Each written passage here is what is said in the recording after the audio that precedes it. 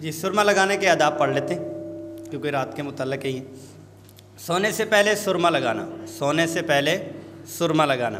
اس میں سرما لگانا نہ ملنے پر جو بھی سرما میسر ہو، وہ لگا لیں۔ لیکن یہ ہے کہ اس کی احتیاط کرنا ضروری ہے۔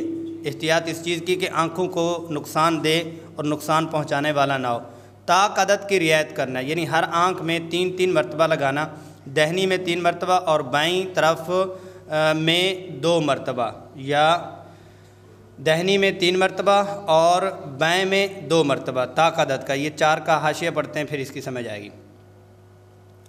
وہی اختحلہ اختحلہ وطرن کہ جب بھی آپ صلی اللہ علیہ وسلم عدد کر کرتے تو طاق عدد کی رعایت کرتے۔ وہ جو ہے، وہ عبارت میں کوئی مسئلہ ہوا ہے اس وجہ سے ایسا لکھا ہوا ہے۔ یعنی تین کا عدد جو ہے، اس کو برقرار رکھنا۔ اگر اس سے زیادہ کرنا چاہ رہے ہیں تو پانچ، سات، تین کا عدد آپ صلی اللہ علیہ وسلم وطرن آیا ہے، طاق کو مد نظر رکھا ہے۔ تو طاق کم از کم جو ہے وہ تین پر بولا جاتا ہے، ایک پر بھی بولا جاتا ہے۔ لیکن شریعت میں عموماً طور پر جب طاق کا آتا ہے تو تین کم از کم اس کی تعداد ہوتی ہے۔